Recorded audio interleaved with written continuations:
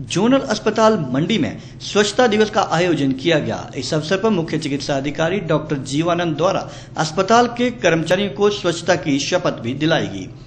Zonal अस्पताल मंडी में स्वच्छता दिवस के अवसर पर मौजूद कर्मचारियों को शपथ दिलाने के बाद कर्मचारियों ने स्वच्छता के कार्यक्रम में भाग लिया और आस पड़ोस की सफ़ाई की और इस व्यवस्था को इसी तरह बनाए रखने का प्रण भी लिया। इस अवसर पर जोनल अस्पताल के सभी कर्मचारी मौजूद रहे। एक स्वच्छ और बिल्कुल साफ़ सुथरा बन सके। जिस अगर स्वच्छता अभियान से हम लोग सब जुड़ते हैं तो बहुत सी जो बीमारियाँ हैं, जो